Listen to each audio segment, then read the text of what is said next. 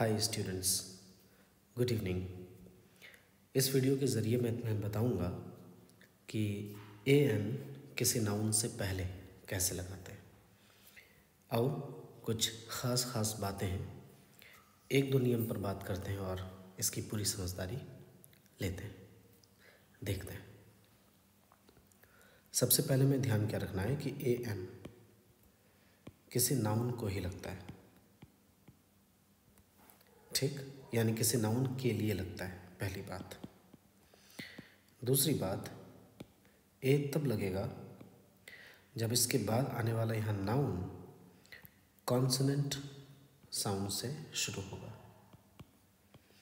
ध्यान रहे मैंने कॉन्सनेंट लेटर की बात नहीं की है कॉन्सनेंट साउंड की बात की है। और एन का इस्तेमाल उस नाउन के साथ होता है जब कोई नाउन वाउल साउंड से शुरू होता है। करेक्ट? और सबसे ज़रूरी बात बता रहा हूँ ए एन लगने के लिए कंडीशन क्या होता है? तो पहले ए के लिए जानो। नाउन को क्या क्या होना चाहिए? नाउन को सिंगुलर होना होगा सबसे पहले। और नाउन कॉमन नाउन होगा। नाउन काउंटेबल होगा, यानी काउंट नाउन और नाउन की शुरुआत कॉन्सनेंट साउंड से होनी चाहिए। इन चार नियमों को अगर कोई नाउन फॉलो करता है तो उसके पहले ए लगेगा। एन लगने का क्या कंडीशन है? नाउन को सिंगुलर होना होगा। नाउन को कॉमन होना होगा नाउन को काउंट नाउन होना होगा, यानी काउंटेबल लेकिन नाउन की जो शुरुआत होगी ना, वो वाउल साउंड से शुरुआत होगी। अगर ये कंडीशन कोई नाउन फॉलो करता है तो उसके पहले ए लगेगा। बहुत तरीके से हम सारे सवाल को देखते हैं।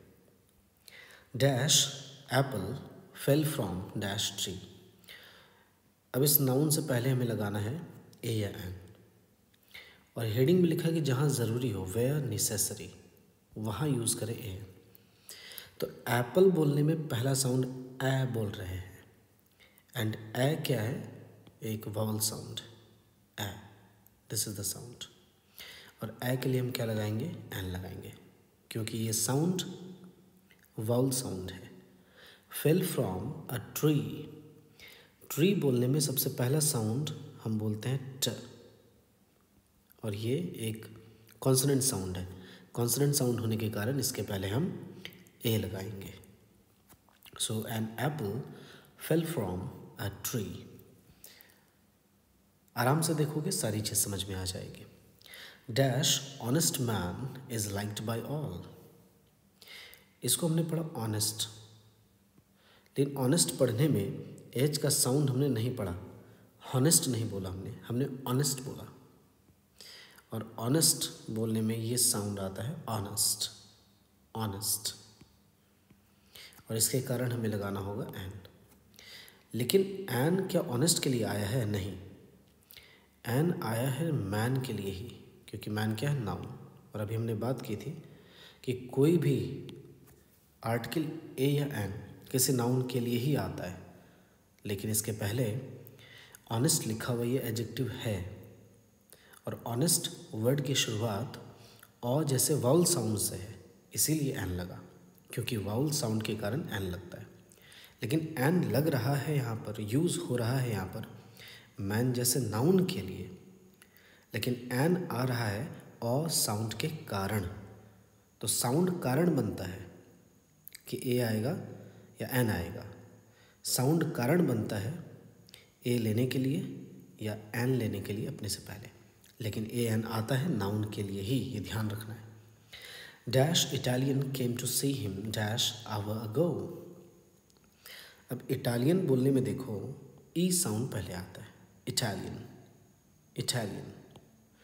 तो ई साउंड वाउल साउंड है, और सिंगुलर नाउन है ये, इटालियन। सिंगुलर है, कॉमन है, काउंटेबल है, और कॉन्सनेंट साउंड से शुरू है। इसीलिए यहाँ पर क्या होगा, एन होगा। An Italian came to see him an hour ago अब आवर बोलने में देखो, ये फिर से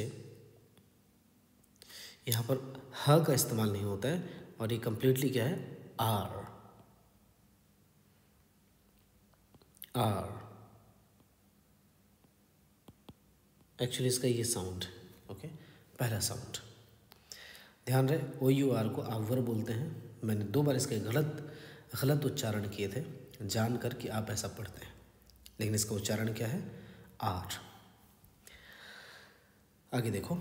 Handkerchief is made of dash piece of cloth यहाँ भी देखो एच है, लेकिन यहाँ पर एच का उच्चारण ह हो रहा है। अगर हम फोनेटिक्स की बात करें।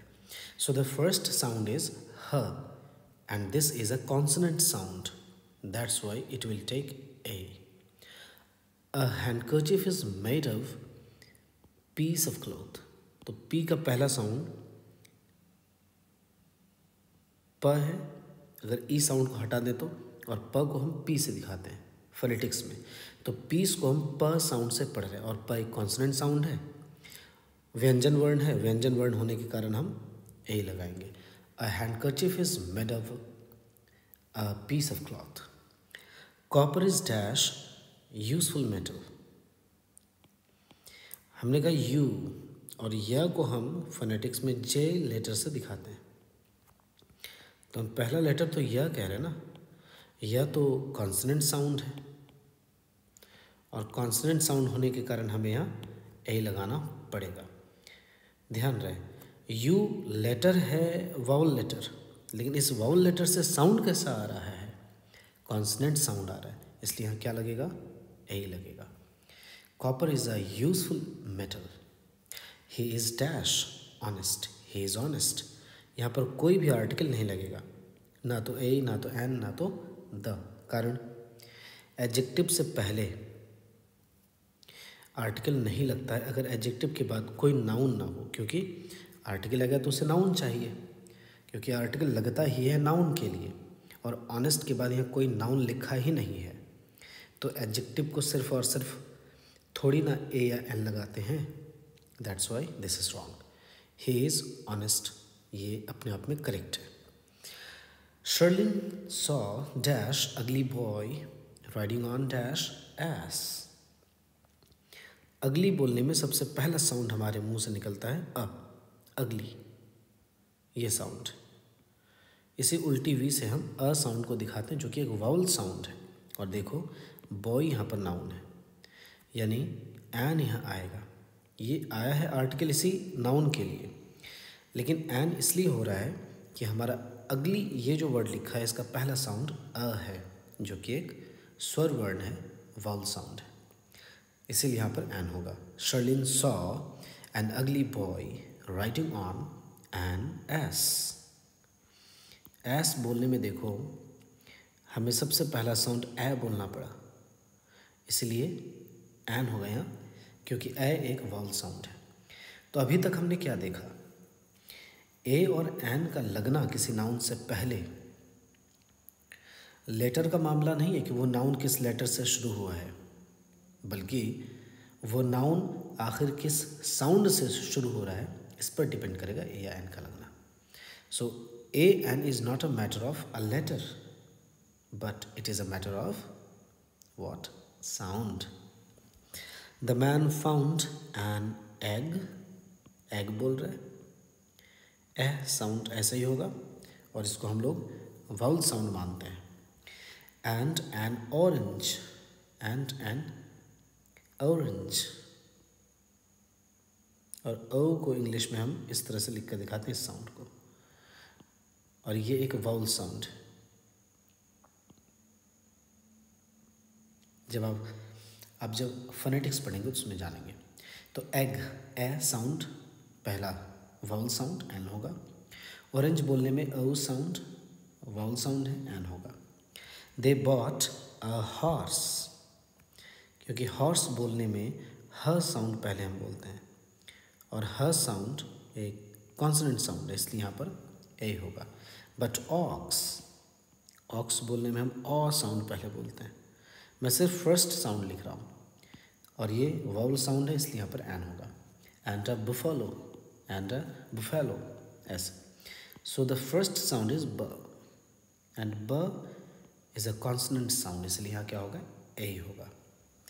He is an Indian Indian बोलने में सबसे पहला साउंड ई साउंड सुनाई देता है, जो कि एक वाउल साउंड इसलिए यहाँ पर क्या होगा? एन होगा। He is an Indian but his wife is European अब ये ई ई यूरोपियन नहीं है। ई यूरोपियन नहीं है, या फिर ई यूरोपियन नहीं है, बल्कि ये सिंपली यूरोपियन है यूरोपियन और ई का साउंड यहाँ गायब है। ठीक है? और इसकी आवाज़ यू से शुरू होते यू में ऊ को हटा दें तो य से शुरू हुआ। तो ये शब्द कॉन्सनेंट साउंड से शुरू हो रहा है that is Y consonant sound से शुरू होने के कारण ये ए ही लेगा और ये बाकी चारों नियम फॉलो कर रहा है। सिंगुलर है कॉमन है। यह काउंटेबल के ही सेंस में यूज्ड है और कॉन्सनेंट साउंड से ये शुरू है। So this is all about this session thank you so much I hope you enjoyed this video a lot because it is full of the best knowledge of the use of A and N. Thank you so much सीखते रहिए जीतते रहिए। जय भारत जय हिंद।